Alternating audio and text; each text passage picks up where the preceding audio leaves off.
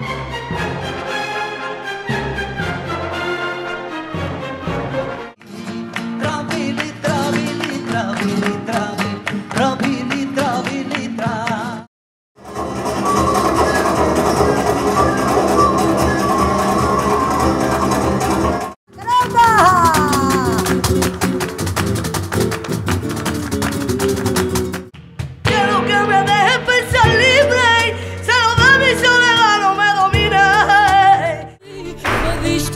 fogo, desde a graça até a vida.